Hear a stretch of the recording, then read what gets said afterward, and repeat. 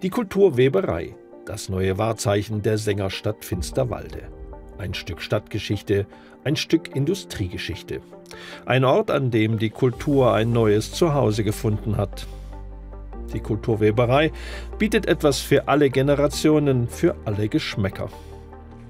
Heute ist hier das Lausitz-Festival zu Gast. Spitzenkünstler aus aller Welt, eine Big Band aus Portugal und ein amerikanischer Gitarrist. Aber bevor das Konzert beginnt, lohnt es sich, sich das beeindruckende Gebäude näher anzuschauen. Ja, die Halle ist natürlich dafür da, der Sängerstadt und der Region ringsherum möglichst viel zu bieten. Und wir sind hier in der Lage, tatsächlich Musicals, Konzerte, Theateraufführungen, Firmenfeiern, Geburtstage oder vieles Ähnliche auszurichten. Wenn die Besucher die Kulturweberei betreten, empfängt sie die historische Schetthalle, die ehemalige Produktionshalle der Textilfabrik. Ein architektonisches Meisterwerk, das die Industrietradition des Gebäudes und der Stadt Finsterwalde bewahrt.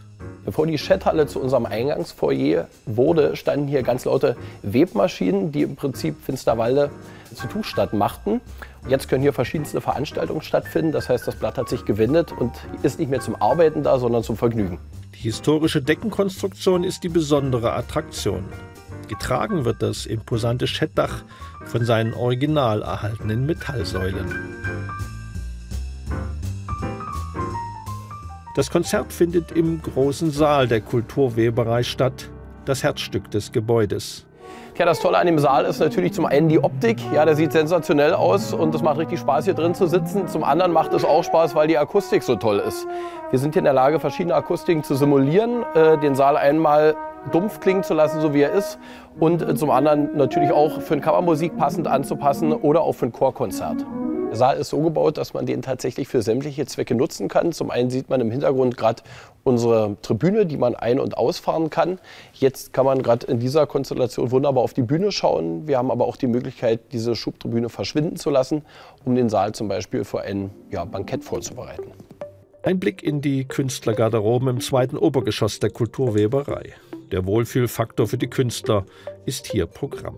Und dabei ist Bellevue, also schöner Blick, durchaus wörtlich zu nehmen.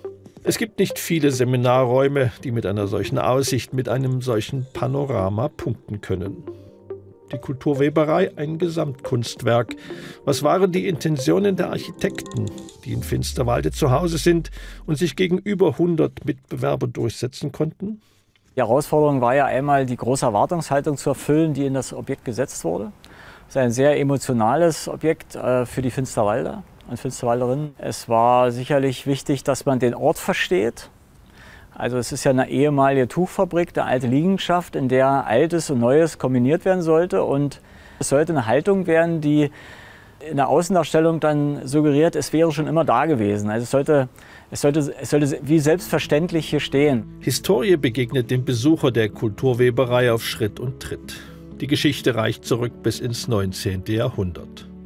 Der Tuchmachermeister Gottlob Karl Schäfer gründete 1845 ein kleines Unternehmen, das sich zu einem der bedeutendsten Textilbetriebe der Stadt entwickelte.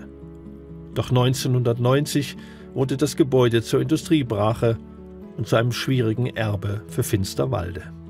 Bis man sich entschied, das ambitionierte und schließlich 20 Millionen Euro teure Projekt Kulturweberei auf den Weg zu bringen.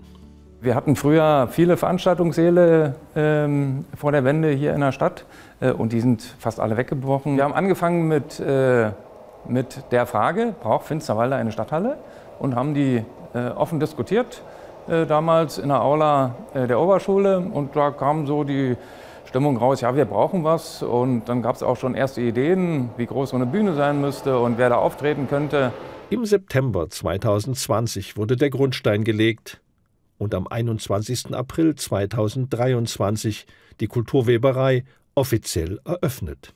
Das Haus und die äh, Kultur, die wir dort anbieten können, überzeugt die Menschen für sich und das ist eigentlich der Erfolg, den wir uns gewünscht haben. Ja, wir müssen niemand unbedingt einladen, hinzukommen, sondern die Leute äh, sind selbst interessiert. Heute sind Big Band Klänge zu erleben, aber hier ist wirklich für alle etwas dabei.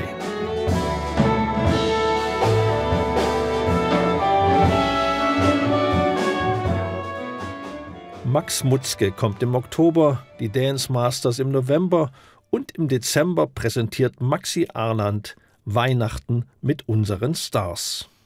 Ja, in diesem Jahr freue ich mich auch ganz besonders auf eine schon bereits ausverkaufte Lesung mit Marc Bedicke, zum Beispiel auch das sorbische Nationalensemble oder auch eine Nobelparty, die hier noch stattfinden soll. Die Kulturweberei Finsterwalde, eine Spitzenadresse der Kultur. Schauen Sie vorbei. Es lohnt sich.